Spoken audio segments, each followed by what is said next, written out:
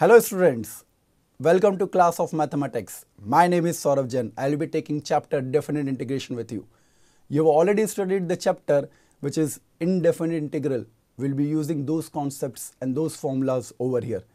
Now let us start with the definition of definite integration. Now definition says that if y equal to fx is a function in the interval a to b, then we define definite integral as integral a to b fx dx. This is defined in the interval a to b.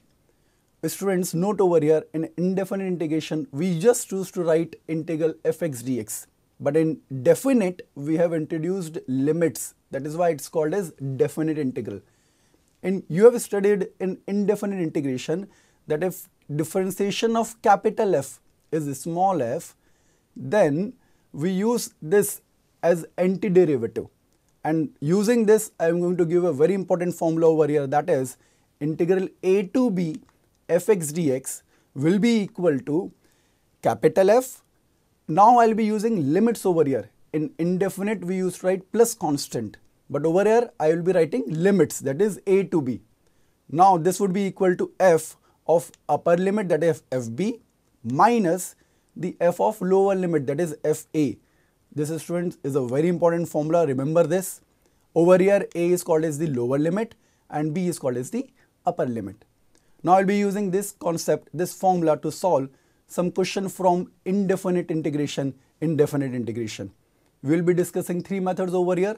The first one is by transformation, second is by substitution and third is by parts. Let us start with transformation method. Now transformation method I'm going to discuss using a question. Now the question says integral 0 to pi cos square x dx. As we used to do in indefinite integration, I'm going to simplify cos square x in terms of cos 2x, that is transform it. So formula is cos 2x is 2 cos square x minus 1. So cos square x is written as 0 to pi 1 plus cos 2x upon 2. Separating the integral, I get 0 to pi half dx plus 0 to pi cos 2x upon 2. Now integration of half dx is, we know students, x by 2.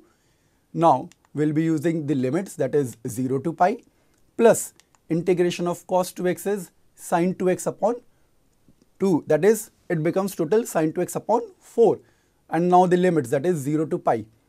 Now students we have to substitute limit which we have studied right now substitution of limits first the upper limit minus f of the second limit. So that's what we are going to do over here.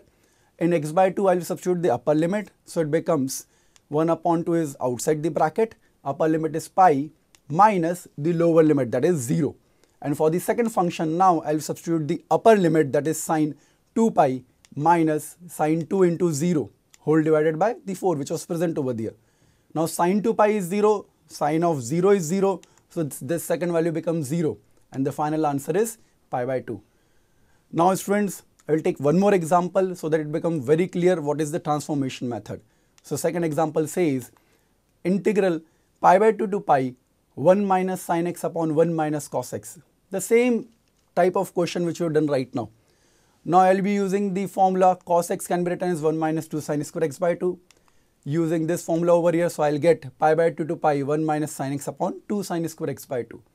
Now separating the integral, I get pi by 2 to pi 1 upon 2 sin square x by 2 minus second is sin x upon 2 sin square x by 2.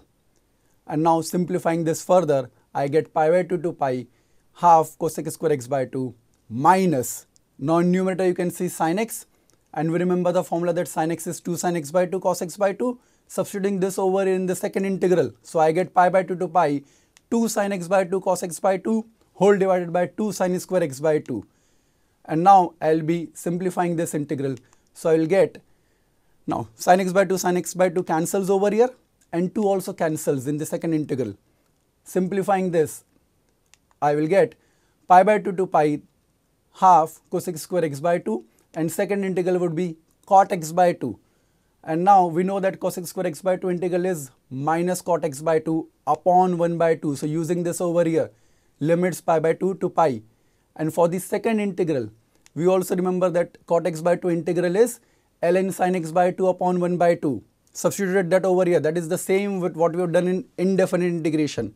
Now the important part is to substitute limit. So I'm going to substitute limit.